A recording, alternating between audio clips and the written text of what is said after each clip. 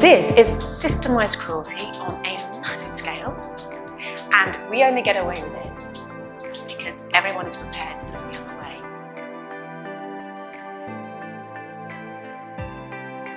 way. Would you recommend reducing meat intake? No, not at all. How on earth is the viewer supposed to make sense of all of this? With more than 70 billion animals consumed globally each year, growing animal feed requires vast amounts of land making it one of the leading drivers of deforestation. It also requires huge amounts of water.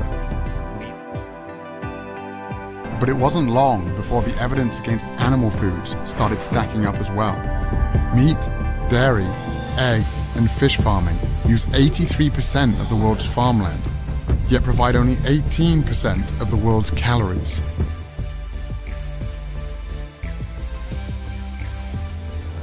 Works beautifully for people selling food. It works beautifully for people selling drugs to treat the diseases that bad food causes. And it works beautifully for the media, which can give us a new story about diet. About three quarters of all the agricultural land in the world is used for livestock production, and it imposes a huge cost on biodiversity. And what is the single biggest source of habitat destruction? It's the livestock sector. All told, more than a quarter of humanity's fresh water consumption goes to produce animal foods. And it's not just water depletion that's an issue, it's also water pollution. 25% of the rivers in the world no longer reach the ocean because we're taking out so much water to produce animal feed the livestock sector is responsible for 15% of global man-made emissions. So to put that in perspective, that's about the same as all the emissions from all the forms of transport in the world, all the planes, trains, cars, vans and ships, all added up. It's not only the biggest culprit threatening the future for humanity on Earth, it is also the biggest and most important silver bullet to a solution. If you go to people and say, you must stop eating meat. I would say, fuck you. The fuck are you to tell me how to eat?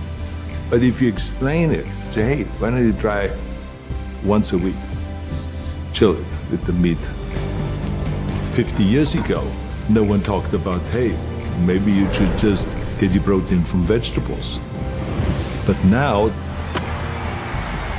there's many, many athletes, professional athletes in all kinds of different sports that have done extremely well staying away from animal foods.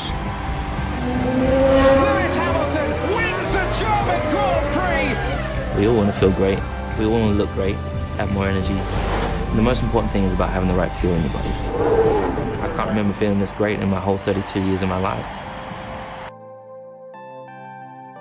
The realization that every animal with two eyes and a central nervous system wants to avoid pain and suffering. And every animal, no matter how big or how small or how wild or how domesticated, just wants to be alive and simply wants to be happy.